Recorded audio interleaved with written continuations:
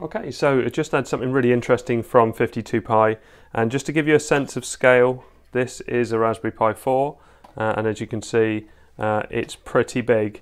Uh, so let's have a look what's in the box. Okay, so as you can see, I've got a huge bit of metal uh, with some HDMI cutouts and an SD card cutout and a nice 52Pi logo on it, but I've also got four boxes as well. And it's what's in the boxes that I was more interested in when I got asked when I got offered one of these. Oh, they're different. Oh no, I think they're the same.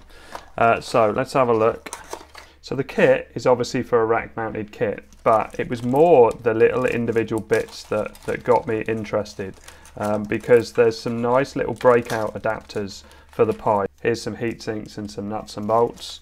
Uh, I have a fan, and it's a bit bigger than the normal fans that you would get uh, on a Pi, so hopefully that will be a bit quieter than some of the others. And here we've got an HDMI extender, uh, but also an SD card extender, and it uses this little adapter.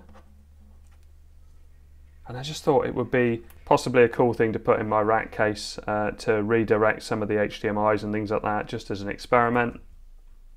But just in general, it's nice to see something different on the Pi.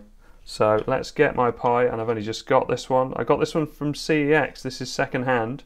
Uh, and I want to do a test to see if USB boot works on it, but uh, first of all I'm going to see if these adapters fit on nicely. Uh, so take out the existing SD card and pop that in.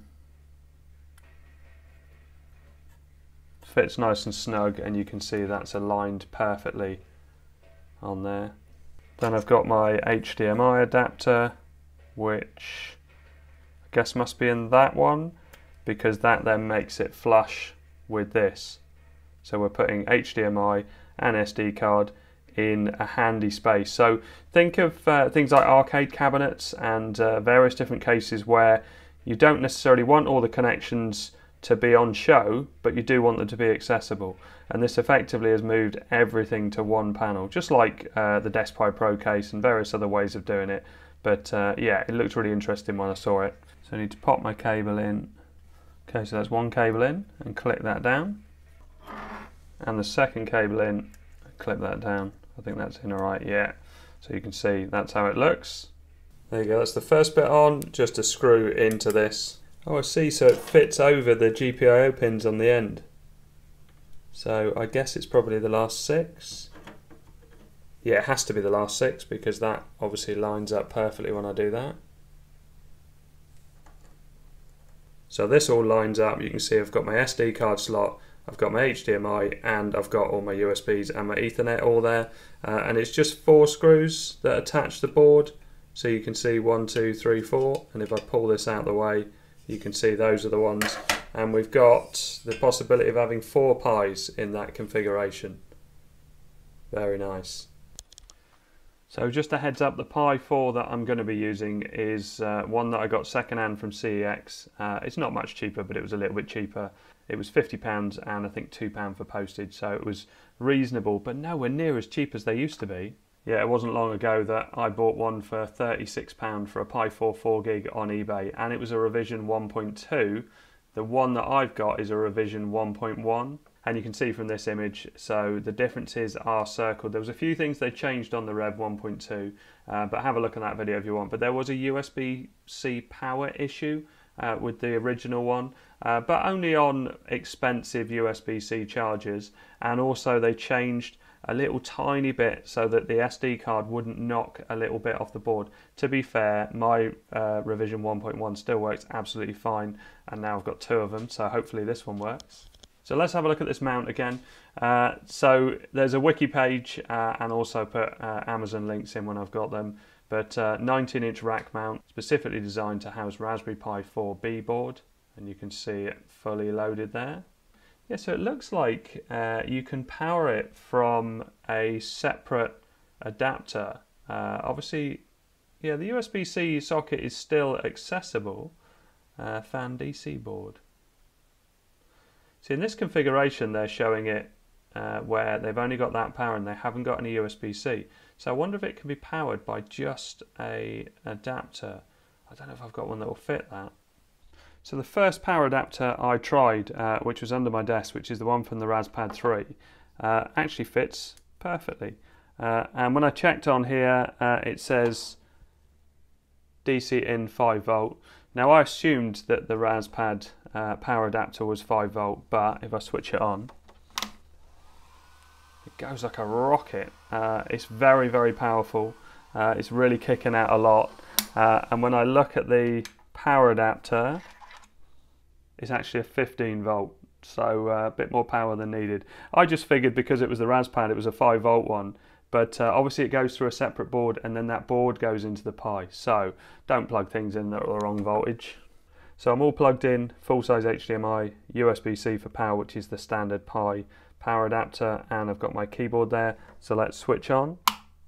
Okay, so I'm getting an error, but I would imagine that either the cable is not fully fitted or it's in the wrong way around. So I might try the cable the other way around, this ribbon cable. Okay, so I've flipped the ribbon cable over. Let's switch it on and try again.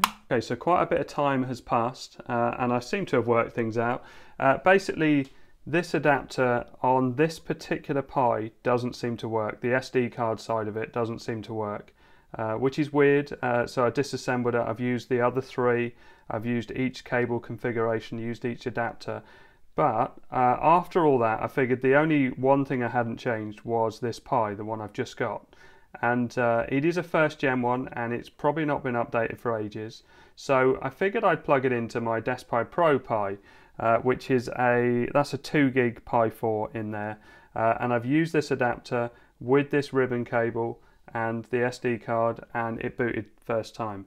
So I probably need to do a software update on this to make it compatible. Uh, very strange but it seems to be that uh, it's either something to do with this or the software on this that's not making it work. So normal booting now from the Pi with the SD card in and it boots fine. So now I need to update the EEPROM. So Control Alt T to open the terminal and sudo raspi config. And then we go to advanced options, bootloader version, use the latest boot ROM and yes and OK. So now if I do finish and reboot. Okay, so after much messing about, I finally managed to get it to work and it was nothing to do with the, uh, the case or the adapters. It was to do with that Pi. So this is my other first gen Raspberry Pi 4 and it works absolutely fine. Booted straight away from the SD card adapter and uh, everything's perfect. Uh, and if I pop the fan on top, so like this, the fan is super quiet. Really, really impressed with the fan. I just I can almost, I can barely hear it. It is uh, it's probably the quietest fan of this type that I've ever had, and I like the way it fits on because you don't even need to screw it on. It is just sitting on the hat. Now I haven't got any heat sinks on here at the moment, but uh, obviously it comes with heat sinks. But I'm not a big fan of putting heat sinks on the Pi. I think this will cool it enough. So I'm really impressed with all these components really. So the SD card adapter with the ribbon cable that reroutes it. Uh, you can just use the HDMI adapter on its own. It doesn't need the ribbon cable at all. So if you just want to get HDMI to be at the front of your Pi and you're not worried about SD card, then just one of those adapters would work fine. Uh, but if you want to do both, then obviously you need the ribbon cable to do the SD card bit. Uh, and the fan is completely independent and works great. Thanks very much to 52Pi for sending me this 4 Pi rack mount case for Raspberry Pi 4. Uh, it is great. I'm really impressed with it. I really like the fan, so I've got four of these now. Uh, I really like the way I've got a full-size HDMI adapter very simply that goes at the front of the Pi. And uh, yeah, it's a really nice kit. Okay, I hope all this helps. Thanks very much for watching. Please like and subscribe.